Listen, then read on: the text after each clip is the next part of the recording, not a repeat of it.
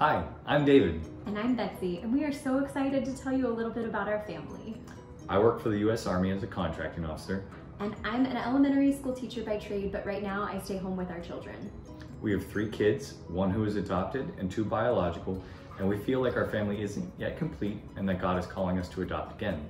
We really cherish the relationship that we have with our son's birth family, so we are so excited to potentially have that kind of relationship with you as well. We just moved to Texas, and we have a big four bedroom home with plenty of room for your baby. We've been married for 13 years and have been best friends since middle school.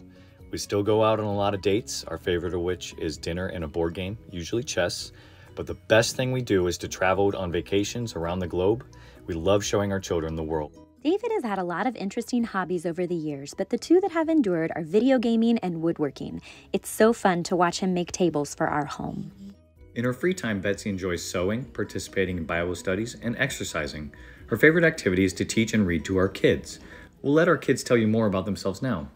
Zoe and I'm eight years old and I like um, reading books and playing soccer. Bye bye. Hi, my name is Hannah and I'm six years old and I like to play soccer.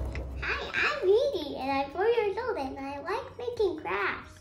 Our family just enjoys being together. Basically, if it's fun, we are in. Sometimes it's super exciting, like setting up our homemade indoor fort for our living room camp night, and other times it's just a simple card game or snuggling in with a book. We promise to be excellent role models to your child. We promise to play with them. We promise to teach them and foster their individual strengths. Most of all, we promise to point them to God in all things and to love them unconditionally.